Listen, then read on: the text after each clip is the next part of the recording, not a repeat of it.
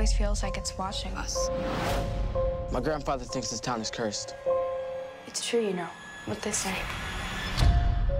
I've written books that deal directly with the idea that faith makes it possible to battle the monsters. I saw something. A clown. Yeah, I saw him too.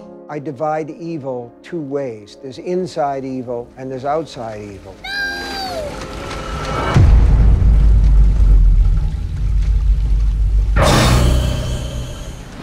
What happens when another Georgie goes missing? Those kids, they're the only ones who are still able to believe in monsters. Are you just gonna pretend it isn't happening like everyone else in this town? You have to have faith and you have to believe that good is going to triumph over evil. If we stick together, we'll win.